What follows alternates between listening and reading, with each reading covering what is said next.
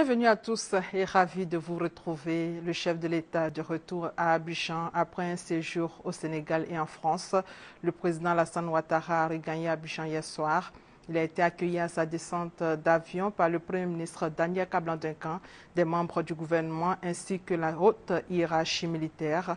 Faisant le point de sa mission, le chef de l'État a indiqué que son séjour à Dakar lui a permis de participer au sommet de l'Union économique, euh, économique et monétaire ouest-africaine et de la communauté économique des États de l'Afrique de l'Ouest. Les questions de paix et de sécurité ont également été abordées selon le chef de l'État en raison de la situation actuelle dans la zone et sur le continent. Abordant son séjour à Paris, le président Alassane Ouattara a indiqué avoir été installé en tant que membre associé à l'Académie des sciences d'outre-mer, une société savante. La Côte d'Ivoire réaffirme son vœu de devenir un hub énergétique de la sous-région.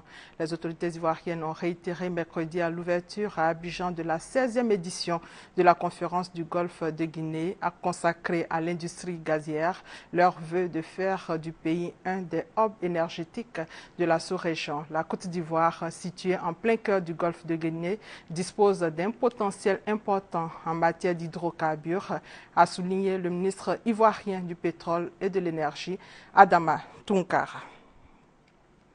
Les députés ont voté hier en plénière une loi pour mieux organiser le métier des sages-femmes et des maïoticiens. Les détails avec Vittorine Yaoyoboui. Adoption en plénière ce mercredi du projet de loi portant création d'un ordre national des sages-femmes et des maïoticiens de Côte d'Ivoire. Par cette loi, l'Assemblée nationale vient de donner à cette profession un outil pour l'organisation efficace et efficiente de la corporation de ces agents de santé qui visent à assister les mères et donc à donner la vie. Nous espérons l'avoir fait au bénéfice des sages-femmes et des maïoticiens et surtout au bénéfice de nos populations qui attendent beaucoup de notre système de santé. Les sages-femmes sont souvent critiquées par les populations elles sont accusées de mal accueillir les femmes enceintes ou en travail. L'idée donc d'un ordre national pour réguler et réglementer la profession est bien accueillie par ces populations. Le moment qui sont dans les zones éloignées de ce pays, qui ne sont pas instruites, ne connaissent pas les droits, généralement sont bafoués dans les centres de santé aux femmes. Donc je pense que c'est une loi qui est bienvenue et ça va aussi permettre à nos soeurs, à nos mamans, sages-femmes, de pouvoir se revoir au niveau de leur comportement auprès de nos mamans qui viennent accoucher. La loi que les, députés prennent, en tout cas, c'est une bonne chose pour que vraiment nous, les femmes, on puisse être bien désormais, pour qu'ils nous prennent bien à l'hôpital, les sept femmes, pour qu'on soit bien. C'est une très bonne chose. Nous pensons que cela va permettre aux sages-femmes de, de mettre de l'ordre dans leur corporation.